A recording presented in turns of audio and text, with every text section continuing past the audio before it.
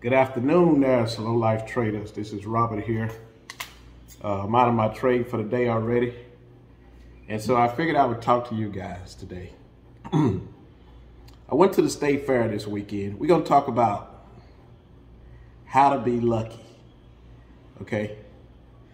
And I'm going to tell you, I was very, very, me and the wife, we was very, very lucky this weekend.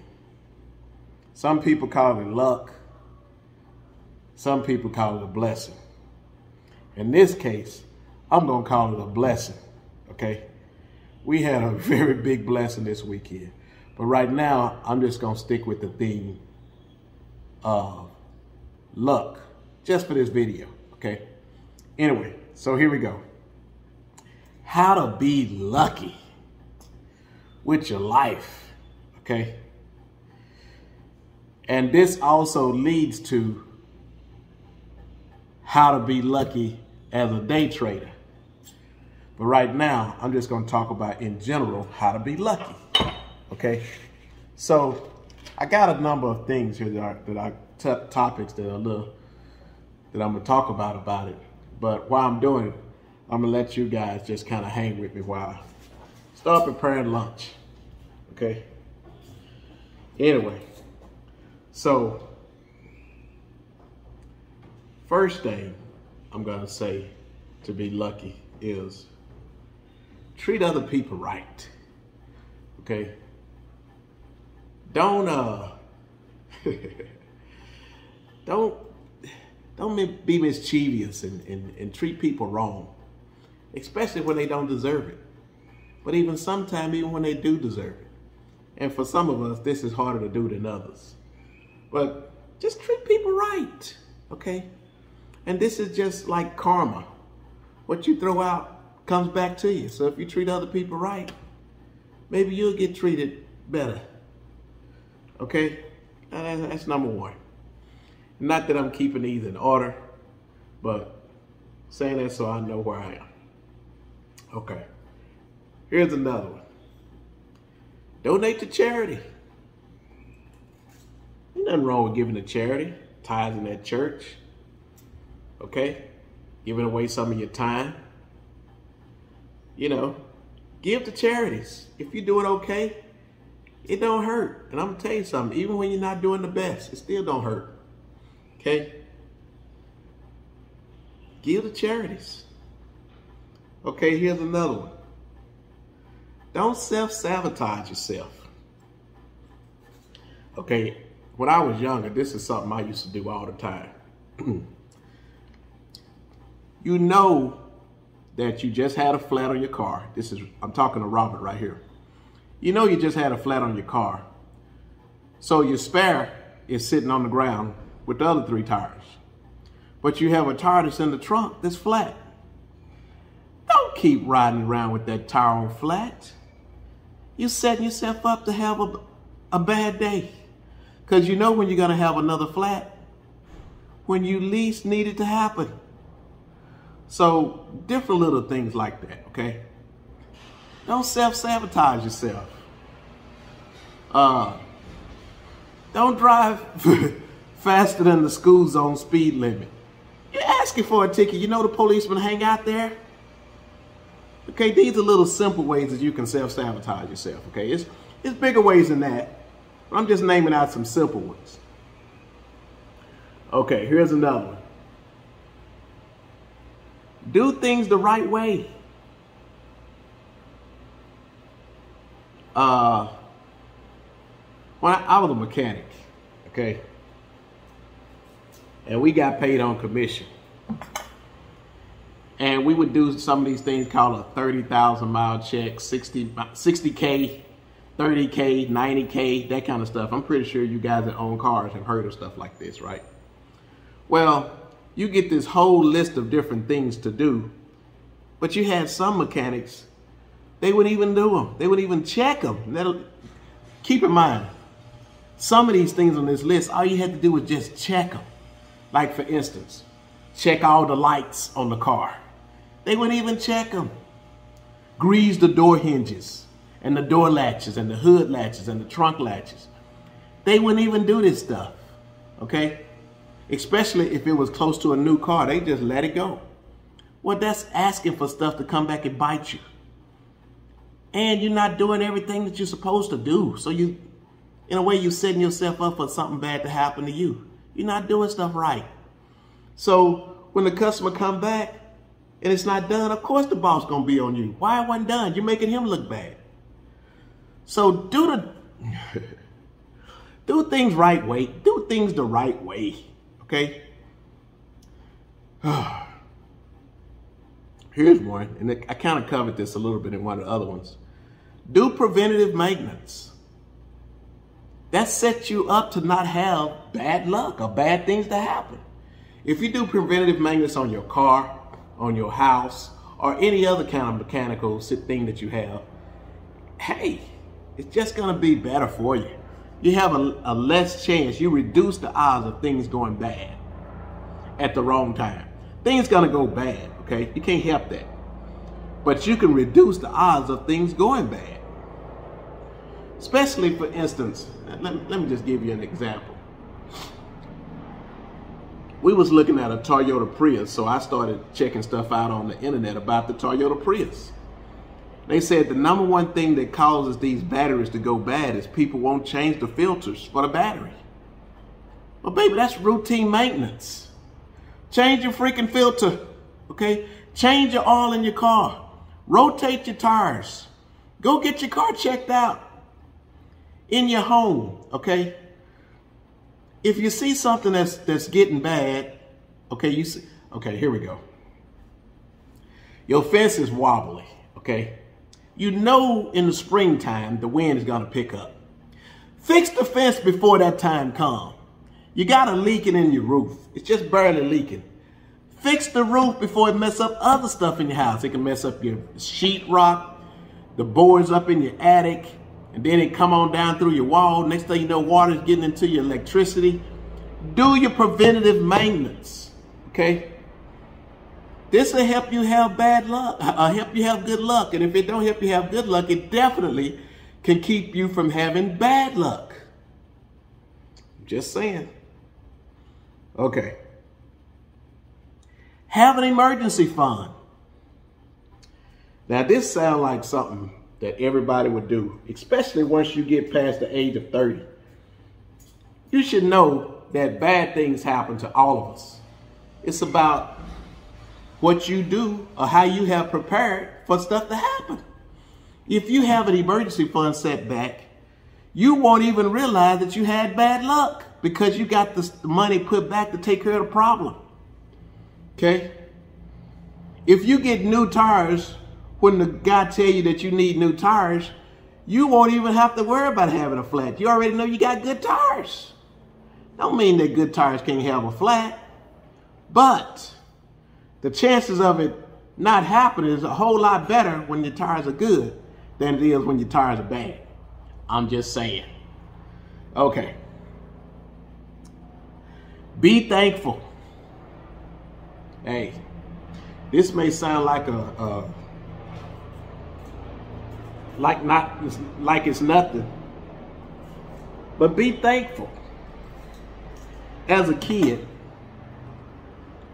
if if your parents do something for you or get you something for Christmas, or you don't even have to be a kid, you can be an adult. If somebody get you something or do something for you, give them thanks. Let them know you appreciate it, okay? Even if you don't even want it.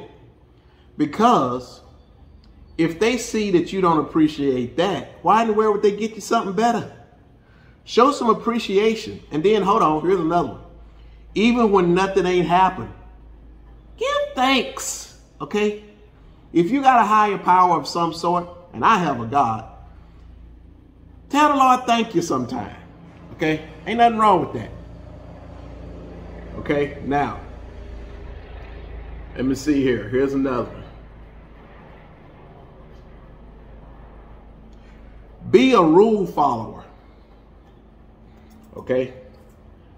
If you're not the type of person that don't want to that don't follow the rules, well, you know you're just asking for trouble. You keep doing stuff wrong, you know you're gonna get caught eventually on something. Even if nobody else catches you, Life will catch up with you. You can't keep doing wrong and expect to get away with it. That's just the way things work. Okay? So, uh,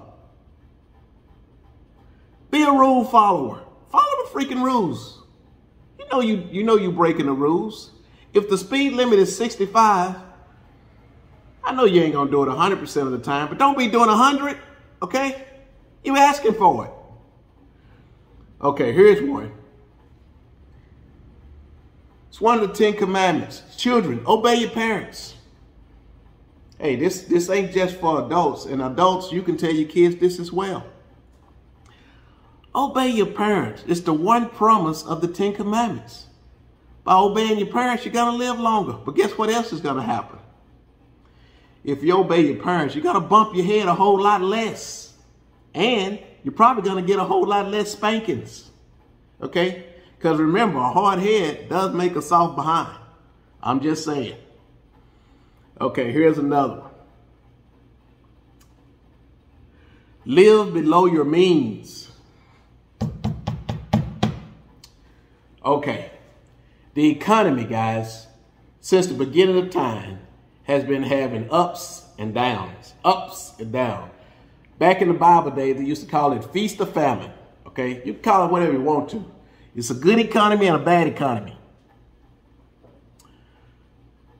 If you learn to live below your means, when the bad economy comes, you won't get hurt so bad.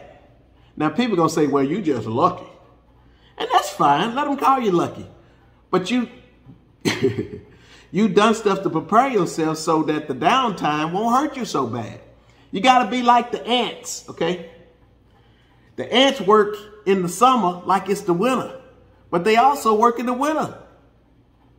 They work all the time. They work when times are good. They not like the grasshopper. The grasshopper just go hopping around like the winter ain't never coming. Okay? He ain't worried about storing nothing away or nothing like that. Ants, take an ant mentality, an ant type of uh, work habits. When times are good, they're putting stuff back because they know it's not going to stay that way forever. So live below your means. If you can afford to buy Mercedes, why don't you go buy your Toyota Camry? Fully loaded, an Avalon. Okay? Something like that. If you can afford to buy a new car, why don't you get one just a little bit used? It's all kinds of ways, people. I'm just naming up these two. They, that may not work for you. But there are ways that it can work. Guess what else? If you live below your means, people, sometime when you're stressed out on the job, you could take some time off. Okay? And you won't have to be going to work so stressed out all the time because you ain't living from can to can. I'm just saying. Anyway, uh, uh, here's another one. Exercise. Go to the doctor and get regular checkups. Now you like, Robert, what does that have to do with luck? Well, if you have better health, if you're in better shape, maybe you won't fall and break your hip. I'm just saying. If you go get regular checkups, maybe they can find problems before they get too bad. Okay? And men, this is especially for you guys. We hate going to the doctor. I was sick not too long ago, and I didn't want to go to the doctor, okay? But after a week, it's time to go to the doctor. You ain't getting no better. So I went to the doctor. Hey, I don't care how much money you have. If your health ain't no good, baby, it ain't fun, okay? I'm just saying.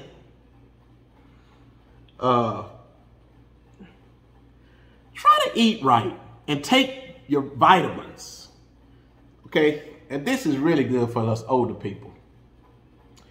I'm not telling you you got to be a vegan and don't eat meat this is all I'm saying.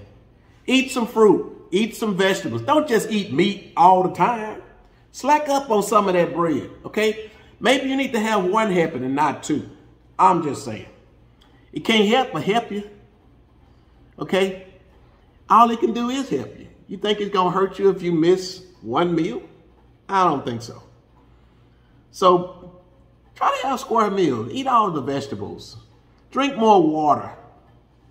Talking to myself on that one. These little things don't seem like much. But over time, hey, I'm just saying. this is all the stuff that can help you live a, a slow life. Chilling, okay, without stressing. Okay, keeping them bills low. Keeping your health up. Exercising. Taking your vitamins. Going to get your regular checkup. Go to the dentist. You see your teeth are jacked up. Just saying. Anyway, and try to go before you have a toothache. Sometimes we can't help it. Okay, I get that. But uh, uh, I just think real teeth are better than having to have to pull all your teeth out and have fake ones. Now, that's okay if you have to do that. Okay? I'm pretty sure one day I may get to that point. But until that happens, I'm going to try to take care of these parquets as long as I can. Again, I'm just saying. Okay. You're like, Robert, what does this have to do with trading? Well, we're going to get to that. So here's another one. I don't have nothing wrong with you guys going out and have a good time and having a drink or two. I get it, okay? I get it. Just because some of us don't drink don't mean you got to criticize the ones that do drink sometimes. But here's the problem. If you know that you are a heavy drinker, okay, don't get from come out of that place and try to drive home with Ubers now and Lyft and all these kind of things that can take you home. Or if you know that's going to happen, get somebody to go with you that don't drink as much. Let them drive y'all home, okay? You got to be smart, people, okay? We're adults here. Don't do stuff that's, that you know in time, may not get to this time, but you know if you keep it up, it's going to come back and bite you. And now you got to spend all this money in court, buying a lawyer, get yourself out of jail, get your car impounded, and that's if you live, okay? And don't hurt nobody. So, take care of it. You know what I'm talking about. Y'all know who I'm talking to. Uh, here's one. Don't be a hothead. I know sometimes people can really get you upset, okay? And trust me, sometimes you just want to unload on some people, okay? I get it. But here's the deal. This is what my mom used to say. And, you know, y'all hear me say a whole lot of time about uh, what my dad said, what my mom said, and all that kind of stuff. Well, you know, they were old school. They had a whole lot of little sayings. Well, one of the sayings that my mom used to say was, bite your tongue and save your face, okay? Long time ago, I used to work at UPS. I asked my boss to go home early, and he let everybody go home early, seem like but me. At least that's the way I felt. So eventually, I couldn't take it no more. I unloaded on him. Gave him a piece of my mind, okay? Very uncharacteristic for, of me at that time, but I couldn't help it. I was PO'd. So the next day, I was embarrassed to come to work because I mean, I dumped on him big time. He let me go, but whoosh, jumped all over him. But if I would have just bit my tongue and held it, don't mean I didn't have to go approach him about it, but I didn't have to jump all over him like I did, okay? He would have let me go without me getting stupid. I'm pretty sure of it. But I couldn't hold my tongue. And then I had to come in with my head down, not really want to look at him and not really facing him. Knowing I need to apologize, okay? So if you just learn to bite your tongue, you can get to save your face. Because guess what? It probably ain't that bad. I'm just saying. Now, you also ask, what does this have to do with trading, Rob? This is supposed to be a channel on trading. Here's the deal. How to be lucky. In trading, especially in slow life trading, do your homework. Learn how to put these trades on the right way. Learn how to take them off the right way. Okay? Be disciplined. When it's time to get out of a trade, get out of a trade. So what if you lose it? If you get out when you're supposed to, you won't be losing that much. Okay? And by doing this, people going to be saying, man, you sure are lucky. You sure are lucky with them trades. You're not lucky. You just done done your homework and you know what to do. When it's fair day, and you know we don't trade on fair days, don't trade. Don't depend on luck for you to win. Okay? We don't depend on luck to win. We depend on the probabilities. We put the odds in our favor. Don't do things that takes the odds out of your favor. It's okay to wait till the next day. Again, I'm just saying. So anyway, I could go on and on about being a lucky trader, but you get the point. In the whole scheme of things, all this is saying is live your life better. And luck will come to you. Now, sometimes luck just comes to you and it has nothing to do on your part. Okay? But, and we can't control them things. But sometimes, the reason why we're having bad luck is because we messed up. We didn't do things right. If it come time for you to retire and you broke, a guy that I listen to named Jim Rohn, he say if you broke and you can't retire at the age you want to retire, it's probably because you blew your money and didn't save. Save your 10% like you're supposed to, people. Put the money away in your 401k. Don't just be dependent on Social Security. I promise you it's not going to be enough. Not the way inflation is going up. You think it's going to stop? No, prices are going to get higher. They always do. They always have. That's the way life is. Anyway, guys, didn't mean to holler at you. I'm just trying to get the point across. That's all I have for you today. Until the next time, peace out. And of course, keep it slow.